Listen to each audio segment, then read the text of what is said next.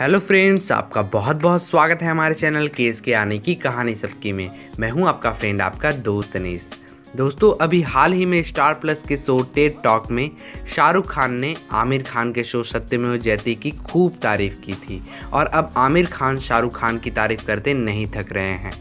आमिर ने हाल ही में एक बातचीत के दौरान कहा है कि शाहरुख खान जो बोलते हैं, उन्हें सुनने में मज़ा आता है। उनमें बोलने की कमाल की कला है। मैं शाहरुख के साथ कई बार बातचीत करता रहा हूँ और वो बहुत अच्छे लिसनर एंड स्पीकर भी हैं। वो अपनी बातों को इंटरटेनिंग तरीके से लोगों के सामने रखते हैं और वो जिस तरह से अपनी बातों को रेनेट करते हैं, वो कमाल का हुनर है उनमें।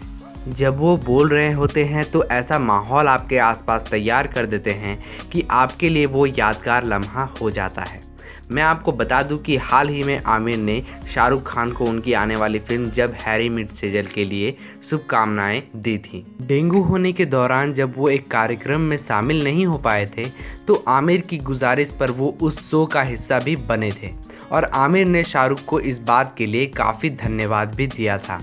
हाल ही में आमिर ने ये भी स्वीकारा है कि शाहरुख, सलमान और अपने स्टार्डम को लेकर उन्होंने ये बात भी कही कि वो खुद इस बात से हैरान हैं कि उन तीनों का स्टार्डम अब भी बरकरार है। और इसकी क्या वजह है, वह इसका राज अभी भी नहीं समझ पाए हैं। सो so, दोस्तों आप बताइए कि आपको शाहरुख और आमिर की जोड़ी कैसी लगती है?